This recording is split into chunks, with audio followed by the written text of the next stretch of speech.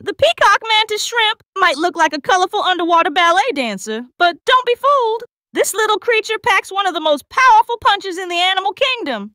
These remarkable crustaceans possess specialized limbs called dactyl clubs that they can accelerate with the same velocity as a bullet fired from a 22 caliber pistol.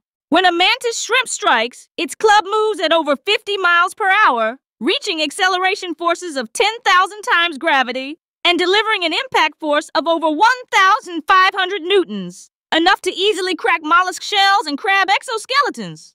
Scientists have measured the shrimp's strike and found it comparable to a 22 caliber bullet. Except these remarkable creatures can deliver these blows repeatedly without damaging themselves. The physics behind this biological marvel has fascinated researchers for decades. How can something so small generate forces that would tear apart most other creatures?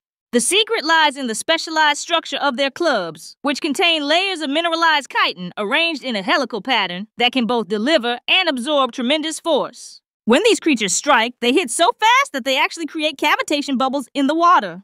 Tiny vacuum pockets that collapse with tremendous force, creating a secondary impact and even producing light in a phenomenon called sonoluminescence.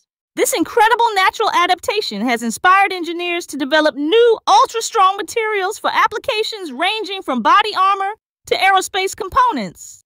Perhaps most remarkably, these powerful punchers can see more colors than humans and possess one of the most complex visual systems on the planet, allowing them to precisely target their supersonic strikes. So next time you're swimming in tropical waters, remember that one of nature's most powerful weapons isn't found in the jaws of a shark or the tentacles of a jellyfish, but in the lightning fast punch of the unassuming peacock mantis shrimp.